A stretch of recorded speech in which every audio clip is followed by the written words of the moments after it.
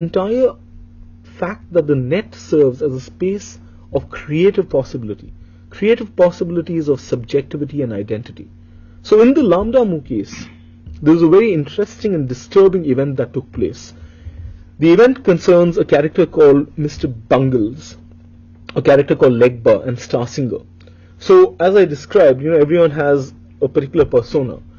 And Mr. Bungles basically was somewhat of a, a hacker who hacked into the code of Legba and Starsinger and controlled their characters. And what Mr. Bungles did was that he publicly, publicly in terms on the net, raped Legba and forced Starsinger to kill herself, self-mutilate herself. Now, this event is really one of the most important events in the history of cyberspace and the imagination of regulation. Because the nature of the event poses a number of questions. What actually happened? You know, on the one hand, of course, nothing really happened because the entire thing was just a textual interface. So it was like Mr. Bungles now forces Legba to remove her clothes. He didn't actually remove her clothes in real life. But this is a textual interface that, that, that actually took place in. So a number of questions really emerge. So the question is really about the ontology of the event, what actually took place out here. You know, how do we think about this in terms of its impact of thinking about law?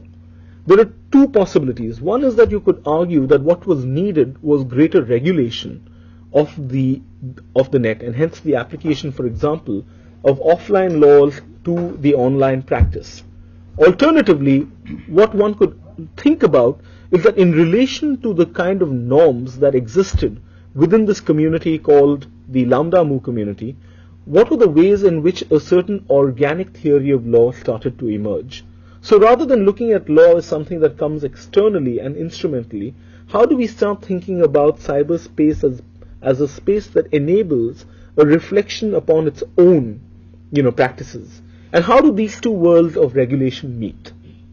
So the popular account of cyberspace and the account of anxiety around it is the fact that it's the wild west where there are no laws, there are no regulations, there are no norms. Fact of the matter is that there are all kinds of norms that exist that govern virtual communities. And the challenge of thinking about cyber laws is not to think about laws that exist in the offline space and how they are applicable to the cyber community, but how they dialogue and have a conversation with alternative notions of norms, ideas of law and legality that may already exist in virtual communities. And I think that when we are thinking about the future agenda of what we can think of as cyber laws, the research question really lies in thinking about a plurality of norms, a plurality of, of jurisprudence, where there is a production of ideas of legality which are beyond those that are imagined by, let's say, a state legal system. Lawrence, uh, uh, you have raised uh, a number of critical concerns and uh, how the dominant uh, conception of the state uh, of regulation and control, which leads to the, a, a, which is a reality existing in India. Uh, and also you have said about uh, when we look at there are only few uh, people those who have commercial exploitation of the internet but how do we look at this internet as a medium for the public and for the wider public good and what are the alternative conceptions even though you have highlighted some of the issues but uh, how do you think we can uh, proceed forward and develop an alternative thinking and a conception rather than a state regulation paradigm there are two aspects to the question. The first is the nature of the internet as a particular kind of public resource. Now, there are ways in which we can think about it in terms of the net as a space where people access information, communicate with each other, uh, engage in online activities, whether it's research, entertainment, etc. And I think what is interesting to think about is that there is a layer beyond the initial layer. Uh, and there is a layer that really people forge through the identification of being a part of a virtual community. Now, this community is not your traditional community, which is bound by geography, bound by time and space. But it's nonetheless a communi- community that also establishes for itself an entire world of norms, an entire world of modes of behavior. Right? So it's not like it's a space that's outside. And I think for us, it's important to try to bring some of these concerns and some of these practices into public discussion. Because the dominant discussion really has been about the idea that there are no norms and no laws, and that it's all about an anarchic freedom in which all kinds of dangerous things, child pornography, cyber stalking, etc., right?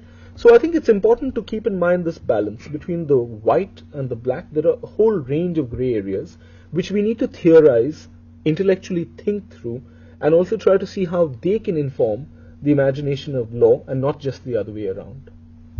You discussed in your lecture about the uh, concerns of the society, the state, and the individual privacy, basically in relation to regulation of cyberspace. Like, uh, basically, what is the need for regulation of cyberspace? But uh, one question is, uh, which I think uh, you should throw some light on that. That basically, like uh, there are two types of regulations we can say. How we can regulate the cyberspace. Like one way is self-regulation, which uh, and then other is state uh, regulation. Sure. So basically, to, in this today, more importance or more emphasis is on how self-regulation scheme or methodology. So can you throw some light on this aspect? Sure.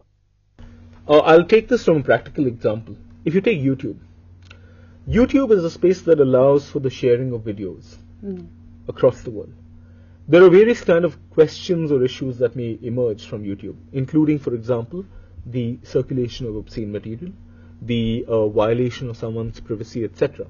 But the fact of the matter is that if you look at YouTube, YouTube has over a period of time evolved a system where the users themselves tag material. Mm-hmm. You have an opportunity, for example, of tagging material as being inappropriate, or you have an opportunity of tagging material as being culturally insensitive, etc. Right? Now, when you're talking about millions and millions of videos, uh, it becomes almost impossible for the state to actually play the role of the watchdog all the time. Yeah. And it's important then to think about ways in which people are able to regulate themselves. And this is where I think the, the two worlds have to talk to each other. What the law presumes is that there is no form of regulation apart from itself. Yeah. And that there is no imagination of ethical ordering of the ways that people relate to each other apart from the one that's morally sanctioned by the law. And I think that, that the net has conclusively challenged this. Yeah. Because if you take new forms of, of knowledge production, Wikipedia, the greatest encyclopedia in the world collaboratively produced, it shows that when people collaborate and, and come together, it's not just to destruct things. It's not just to you know to to hatch plans of terrorism. It's also about new forms of relating to each other. And I think that the, the jurisprudential challenge for us is that when they get together to ima- imagine new forms of regulating conduct, mm. are there better laws that emerge from that process than the ones which you don't have a say in? You know, we the people of India never signed the constitution, so if we were given a chance, would we be writing something slightly different? We had an interesting uh, discussion on the regulating cyberspace and a number of concerns have been raised uh, by Lawrence Liang. And it's a uh, high time uh, there's a concerted discussion and dialogue needs to be initiated in India to look at uh, and to uh, formulate the alternative conceptions for safeguarding the rights of the citizens and not to be just confined to the state conception of uh, the regulatory and surveillance uh, uh, policy mechanisms. And uh, this will be a beginning uh, uh, and we will have a, a number of lectures in this series and we look forward for your suggestions, comments and sharing these concerns in a wider platform.